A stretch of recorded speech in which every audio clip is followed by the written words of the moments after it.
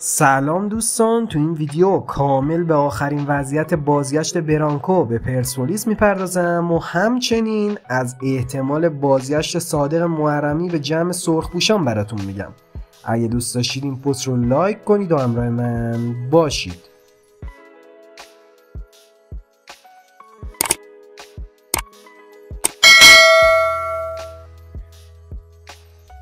بعد از بازی با مس بود که یحیی گل محمدی تو کنفرانس خبری بعد از بازی استعفا داد و از پرسپولیس و هواداراش خدافزی کرد و برای این تیم و سرمربی بعدیش آرزوی موفقیت کرد. رضا درویش ابتدا ادعا کرد که یحیی رو راضی می‌کنه که تو جمع سرخپوشان بمونه اما دیگه یه جورایی همه هوادارا می‌دونستن این دفعه داستان فرق داره. حالا امروز رضا درویش رسما جدایی یحیی رو تایید کرد و اعلام کرد طی این یکی دو روز توافقنامه جداییش رو هم امضا می‌کنه. البته درویش یکی دو روز قبل هم گفته بود که یحیی شرایط روی مناسب برای ادامه همکاری رو نداره و این صحبت های درویش با واکنش یحیی روبرو شد و یحیی گفت اتفاقا حالم خیلی هم خوبه. فقط شرایط ادامه همکاری با این مشکلات وجود نداشت. اما درویش امروز تو مصاحبهش حرفای مهم می‌زد. اولا تایید کرد که سرمربی بعدی قرمزها قطعا خارجی است و خبری از گزینه‌های داخلی مثل تارتار نیست. همچنین درویش گفت ده گزینه خارجی داریم و تا آخر هفته سرمربی انتخاب میشه. تا مربی نیاد بازیکن جذب نمی‌کنیم. درباره بازگشت برانکو هم گفت فعلا اسم نمیارم اما مالیات برانکو رو پرداخت کردیم و فقط جریمه دیرکردش مونده که اونم نامه زدیم که بخشیده بشه. اما درسته که مدیریت باشگاه به طور رسمی و مستقیم حرفی از بازگشت برانکو نزد اما طبق اخبار رسیده گزینه اصلی درویش خود برانکو ایوانکوویچه. موضوع بازگشت برانکو به امروز و دیروز بر نمیگرده. چند ماه پیش همون روزی که مالیات موقعه برانکو رو پرداخت کردن به این دلیل بود که شرط مربی کروات برای بازگشت به ایران تصویه بدهی مالیاتیش بود. خود برانکو کاملا راضیه که به ایران برگرده و تو مصاحبه‌های اخیرش هم رسما چراغ سبز نشون داده و اگه مدیران پرسپولیس تو مذاکرات یک کمی انعطاف به خرج بدن قطعا برانکو بعد از جام ملت ها به پرسپولیس برمیگرده.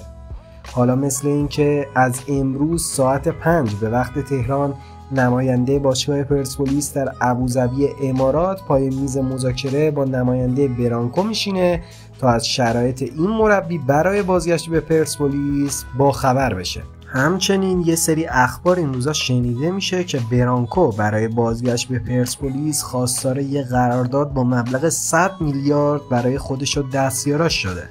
اما پیگیری ها نشون میده که این صحبت ها واقعیت نداره و بیشتر برای اینه که این سرمربی کروات رو از پرسپولیس دور کنند برانکو این روزها همراه با تیم ملی عمان در اردوی آماده سازی پیش از جام ملت‌های آسیا در امارات حضور داره و بند فسخش با تیم ملی عمان هم 600 هزار دلاره که با پایان جام ملت ها این بند غیر فعال میشه. از طرفی رقم قرارداد برانکو دستیاراش تو دوره قبلی فعالیتش تو پرسپولیس برای یک فصل کمتر از یک میلیون و سیصد هزار دلار بود و منطقی نیست که الان درخواست رقم دو میلیون دلاری رو بکنه. خود باشگاه پرسپولیس هم برای یحیی و کادر خارجیش مبلغ 61 میلیارد رو هزینه کرده بود که میشه تقریبا یک میلیون و 200 هزار دلار. پس برای بازگشت برانکو حتی تا یک میلیون و 500 هزار دلار هم می‌تونن هزینه کنن. مبلغی که باش قطعا با برانکو به توافق می‌رسن.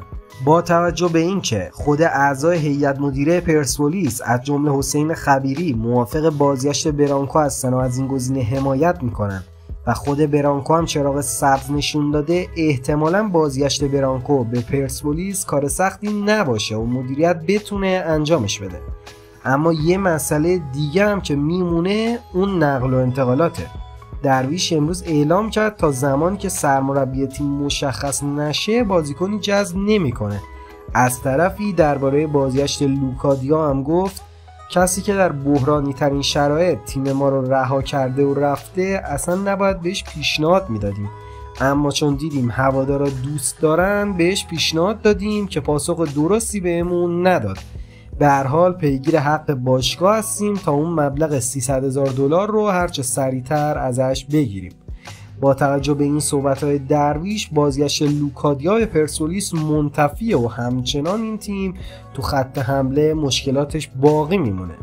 اما خبر خوب برای هوادارهای پرسپولیس احتمال بازگشت صادق محرمی به پرسپولیسه. ایجنت صادق محرمی به زودی جلسه با مدیران دینامو زاگرب برگزار می‌کنه و با توجه به اینکه سرمربی این باشگاه درخواست جذب یه بازیکن تو پست دفاع راست رو داده به احتمال بسیار زیاد محرمی از این تیم جدا بشه. خود صادق محرمی هم مثل اینکه تمایل داره به پرسپولیس برگرده ولی تکلیف نهایی بازگشتش بازم زمانی مشخص میشه که سرمربی بعدی پرسپولیس مشخص بشه. اگه برانکو روی نیمکت قرمز ها بشینه با توجه به علاقه برانکو به سبک بازی محرمی و اینکه خود صادق هم زیر نظر برانکو روش کرد احتمال پیوستن صادق محرمی به پرسپولیس خیلی بالاتر میره. اما اگه خودم بخوام یه توصیه به مدیریت باشگاه بکنم بهشون میگم که همه تلاششون رو برای بازگشت برانکو به پرسپولیس بکنن. حتی اگه برانکو نسبت به سایر گزینه‌های مدیریت 200 هزار تا بیشتر هم خواست بازم باید اولویت رضا درویش برانکو باشه.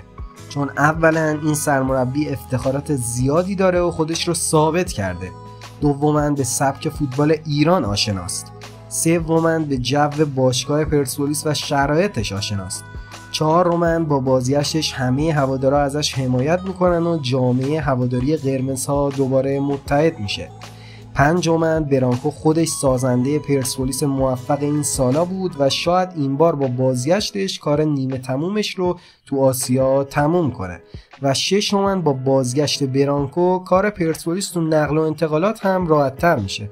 چون حتی لژیونرهای فوتبال ایران هم وقتی ببینن سرمربی پرسپولیس یه فردی مثل برانکو 100 درصد تمایل بیشتری برای بازگشت به این تیم یا پیوستن به پرسپولیس پیدا می‌کنن. به خاطر همه این دلایل و یه عالمه دلیل دیگه میشه گفت این سرمربی کروات بهترین گزینه و حتی آسونترین گزینه برای رضا درویشه. در نهایت باید منتظر باشیم و ببینیم رضا درویش چیکار می‌کنه. آیا برانکو رو برمیگردونه و خودش رو هم بین هوادارا محبوب می‌کنه یا نه؟ سراغ یه گزینه دیگه میره و هواشی اطراف پرسپولیس رو بیشتر می‌کنه. در نهایت مرسی که با ما همراه بودید. اگه دوست داشتید این پست رو لایک و چنل رو سابسکرایب کنید.